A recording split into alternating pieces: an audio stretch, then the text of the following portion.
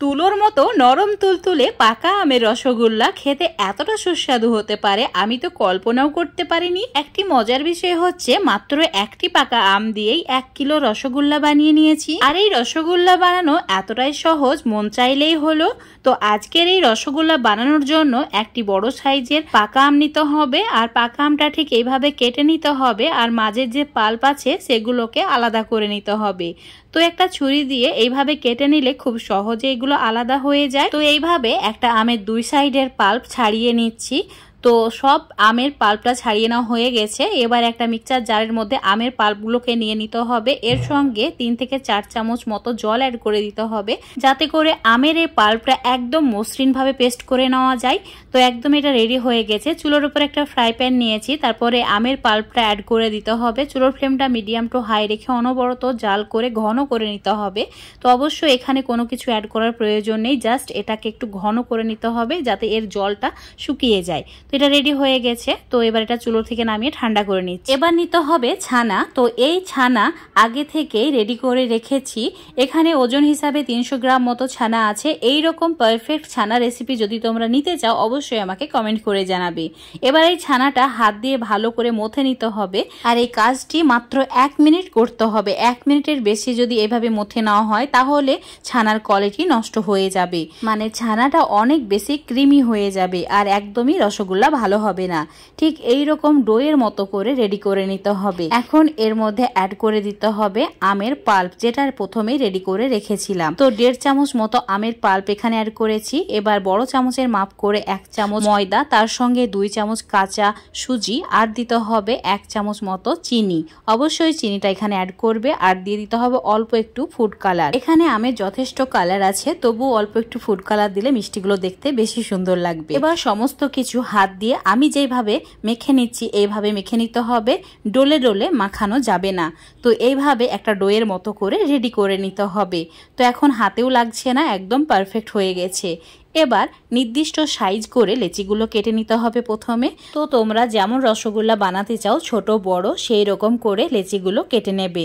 লেচিগুলো রেডি করা হয়ে গেছে, হাতটাও ভালোভাবে পরিষ্কার করে ধুয়ে নিয়েছি। এখন এই রসগোল্লাগুলো দুই হাত দিয়ে ভালো করে গোল করে নিতে হবে। আর দেখে নিতে হবে কোনো ফাটল ধরছে কিনা। তো একদমই পারফেক্ট হয়েছে, সবগুলো একইভাবে রেডি করা হয়ে গেছে। এখন এইভাবে প্লেটে থাক আর ততক্ষণে সিরাটা রেডি করে নিতে হবে। তো চুলোর উপর একটা বড় সাইজ সাইজের কড়াই নিতে হবে। কড়াইয়ে দিয়ে দিতে হবে দুই কাপ চিনি মানে এখানে চারশো গ্রাম চিনি আছে।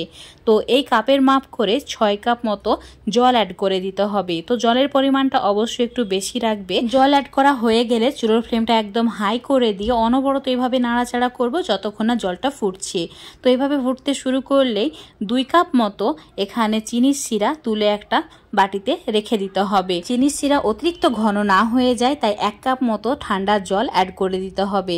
তারপর অ্যাড করে দিতে হবে এক চামচ আমের পাল্প আর তার সঙ্গে অল্প একটু ফুড কালার সমস্ত কিছু ভালো করে মিশিয়ে নিতে হবে। তারপর অ্যাড করে দিতে হবে দুটি এলাচ। অবশ্যই ফাটিয়ে নিয়ে এভাবে অ্যাড করে দেবে। আর চিনির শিরা যখন ঠিক এইভাবে ফুটতে শুরু করবে, মিষ্টিগুলো চিনির শিরার মধ্যে অ্যাড করতে হবে। আর চুলোর ফ্লেমটা অবশ্যই মিডিয়াম টু হাই করে রাখবে। সব মিষ্টিগুলো চিনির শিরার মধ্যে অ্যাড করার পর চুলোর ফ্লেমটা মিডিয়াম টু হাই রেখে ঢাকা দিয়ে দিতে হবে দশ মিনিটের জন্য। এই সময় কড়াইটাকে একদমই নাড়াচাড়া করলে হবে না, হাই ফ্লেমে দশ মিনিট রান্না করে নিতে হবে। এখন তোমাদের দশ মিনিট পর দেখাচ্ছি, দেখতেই পাচ্ছ মিষ্টিগুলো ফুলে ডাবল হয়ে গেছে। কিন্তু মিষ্টিগুলো এখনও ভালোভাবে কুক হয়নি আর এই শিরাটা কিন্তু ঘন হয়ে গেছে। তাই আগে যে শিরাটা তুলে রেখেছিলাম, সেখান থেকে এক কাপ মতো শিরা এভাবে অ্যাড করে দিয়েছি। তারপর ঢাকা দিয়ে মিডিয়াম ফ্লেমে কুড়ি মিনিট রান্না করে নিতে হবে। এখন তোমাদের কুড়ি মিনিট পর দেখাচ্ছি, দেখতেই পাচ্ছ রসগোল্লাগুলো কতটা সুন্দর হয়েছে।